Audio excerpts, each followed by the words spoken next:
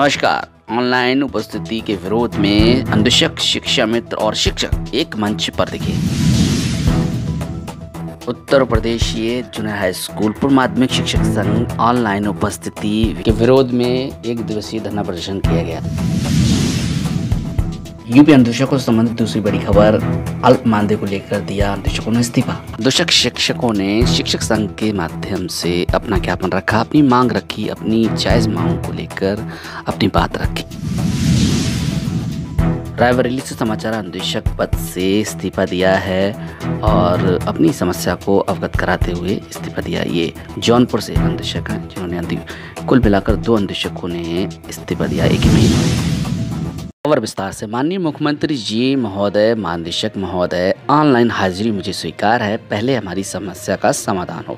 अन्वेषकों को अंशकालिक से पूर्णकालिक किया जाए। अन्वेषकों को पाँच किलोमीटर के दायरे में स्थानांतरित किया जाए। उनका स्थानांतरण पाँच किलोमीटर के दायरे में किया जाए। तीसरी बड़ी मांग है अन्वेषकों को छियालीस सौ पे ग्रेड दिया जाए। चौथा, जब तक अन्वेषक निमित्त नहीं होते, उनको कम से कम तीस हज़ार मानदेय प्रतिमाह दिया जाए। पाँचवा, मृतक आश्रित परिवार के अन्वेषक शिक्षकों को परिवार के किसी सदस्य को अन्वेषक या फिर उसके शिक्षा के अनुसार उसे नौकरी दी जाए। साथ ही एक करोड़ का बीमा कवर प्रदान किया जाए। हमको चौदह आकस्मिक अवकाश भी प्रदान किया जाए। निःशुल्क चिकित्सा सुविधा उपलब्ध कराई जाए। नवीनीकरण की प्रक्रिया बंद हो। प्रदेश महामंत्री ओम प्रकाश परिषदीय अन्वेषक संघ, उत्तर प्रदेश से ये ज्ञापन दिया। अपनी मांग रखी है। उन्होंने सोशल मीडिया पर ये खबर वायरल की है ताकि शासन और प्रशासन तक पहुँच सके। यहाँ पर दो अंदोषकों ने इस्तीफा दिया है। वेद प्रकाश मौर्य रायबरेली से हैं।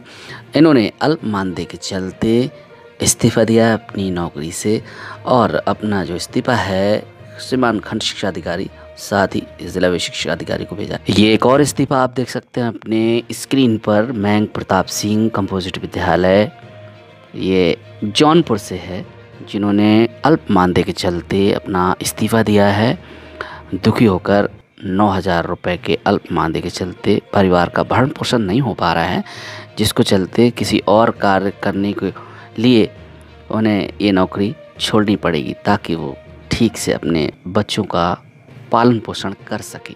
लगातार अन्वेषक अपनी समस्याओं को लेकर क्रमिकांशन कर रहे हैं, लेकिन सरकार की कान पर अभी तक जू तक नहीं रेंगी है।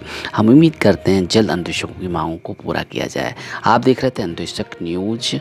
बने रहिए हमारे साथ। ये अन्वेषक न्यूज़ है आपके संघर्ष का साथी। मिलते किसी और खास अपडेट के साथ। जय हिंद, जय भारत। वंदे मातरम। सत्य में बजाते थे